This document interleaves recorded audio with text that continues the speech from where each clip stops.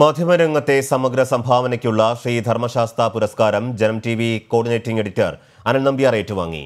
കൊച്ചിയിൽ നടന്ന ചടങ്ങിൽ പ്രശസ്ത സാഹിത്യകാരൻ ശ്രീമൻ നാരായണൻ പുരസ്കാരം സമ്മാനിച്ചു.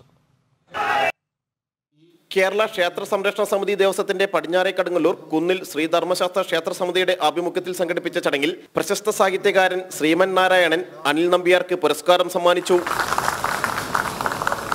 ചടങ്ങിൽ അനിൽ നമ്പ്യാരെയും ശ്രീമൻ നാരായണനെയും ക്ഷേത്രസമിതി ഭാരവാഹികൾ പൊന്നാടി അണിയിച്ച് ആദരിച്ചു. ഹൈന്ദവ ആചാര അനുഷ്ഠാനങ്ങൾക്ക് മേൽ കത്തിവയ്ക്കാൻ ഭരണകൂടവും നിലകൊണ്ടപ്പോൾ ഭക്തർക്കൊപ്പം നിന്ന് ശക്തമായ നിലപാടെടുത്തത് ജനൻ ടി വി മാത്രമാണെന്ന് Janam T V coordinating editor Anil Nambiar പറഞ്ഞു. ഭൂരിപക്ഷ വിഭാഗം ആർക്കും കൊട്ടാവുന്ന ചെണ്ടയാകുമ്പോൾ ക്ഷേത്ര സ്വത്തുക്കളിൽ മാത്രമാണ് സർക്കാരിന്റെ കണ്ണ്. തിരുവാഭരണം വേണം ശ്രീ പത്മനാഭ സ്വാമി ക്ഷേത്രത്തിലെ നിധിശേഖരം വേണം എല്ലാം സർക്കാരിന്റെ നിയന്ത്രണത്തിലായിരിക്കണം.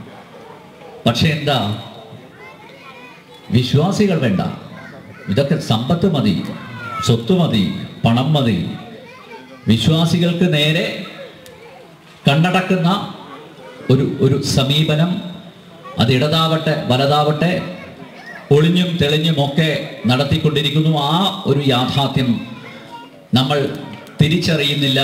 ക്ഷേത്ര ഭരണസമിതി പ്രസിഡന്റ് കൈലാസ് ദാസ് അധ്യക്ഷത വഹിച്ചു. സെക്രട്ടറി പി എം ഉദയകുമാർ ഉത്സവാഘോഷ സമിതി chairman M S Rajagopal general convener P N Babu K S Prakashan എന്നിവർ പങ്കെടുത്തു.